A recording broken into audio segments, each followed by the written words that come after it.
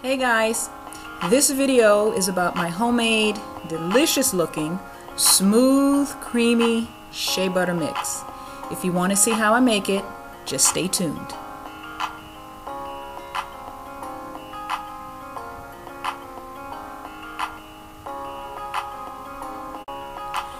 My first ingredient is shea butter.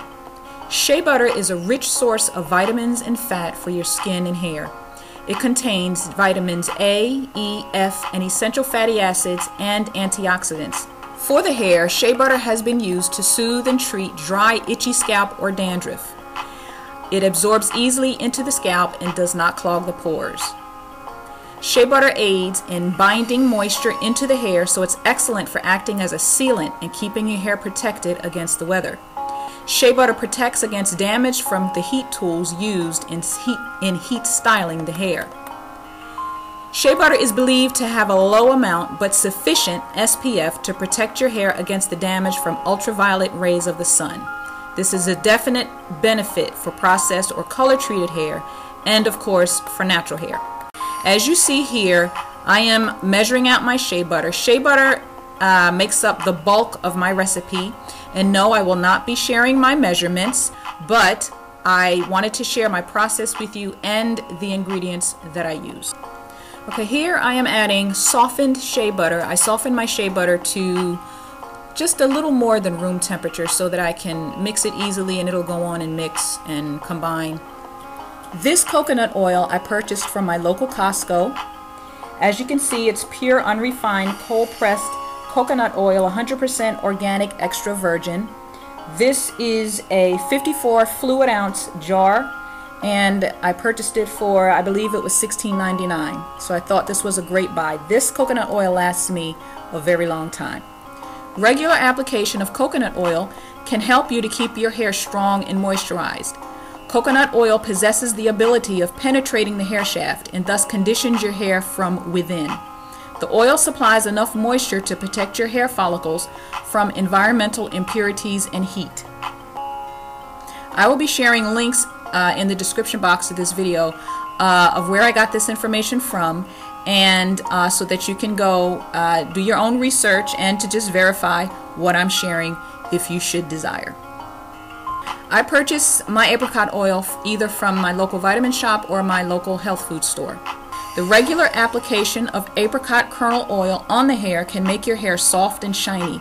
Avocado oil is rich in vitamin A, B1, B2, D, and E, as well as amino acids, sterols, sterols, pantothenic acid, lecithin, and other essential fatty acids, and can readily penetrate into the hair strand. Avocado oil in particular can lubricate and create slip without a super greasy feel. Wheat germ oil is a fantastic health and beauty superfood for its rich content of vitamin A, D, and E, as well as essential fatty acids, lecithin, protein, minerals, and vitamins B1, B2, B3, B6, and F.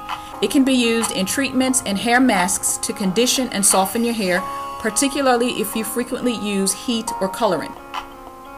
Jojoba oil. It is good to treat dry hair or even to promote hair growth. Because of its similarity to sebum, this pure liquid wax is naturally safe to apply to any type of hair and skin.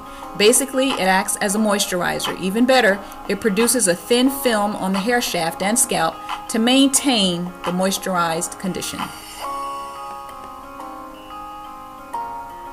Once all my ingredients are together, I mix them with a mixer and I just mix and mix until the um, say the batter or the mix starts to thicken a little bit because as the shea butter cools off it will thicken. Um, so I just mix and mix until the mixture thickens a little bit from what it was and the oils become incorporated into the shea butter so that it's not so oily and so loose and runny. And I just mix until it becomes a cake batter like consistency Okay, this particular mixture I'm making for my aunt, and she requested or asked that I put in tea tree oil and peppermint oil. And that's what you see me doing here. And I also decided to put lavender oil to kind of counteract the smell of the shea butter, which is not necessarily bad. I'm kind of used to it, but um, I I like a little fragrance with my shea butter mix, so I use lavender oil.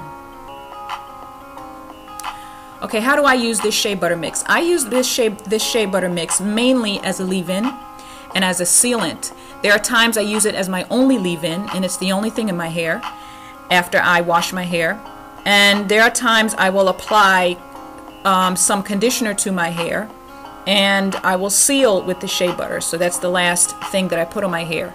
There are times also that I'll use my shea butter as an underlayment for any gel, like flaxseed gel that I use. That really is the only gel I use. I don't use store-bought gels um, on the regular. I may try one out here and there, but just not on the regular. The main gel that I use is flaxseed, so I will use this underneath my flaxseed gel. So guys, this concludes my demonstration of how I make my shea, my homemade creamy shea butter mix. I hope you enjoyed. And uh, I want to know from you, what do you use your shea butter? What do you use shea butter for in your natural hair regimen if you do use it? And if you don't use it and you plan on using it, how do you plan on using it? All right, so just leave me a comment and let me know how a mix like this would help you. If you would like to purchase a jar of my homemade shea butter mix, then send me an email at lovingdeenaturally at gmail.com. Okay guys, this concludes this video on how I make my homemade creamy shea butter mix. I hope you enjoyed and I look forward to seeing you in the next video. Stay beautiful and stay blessed.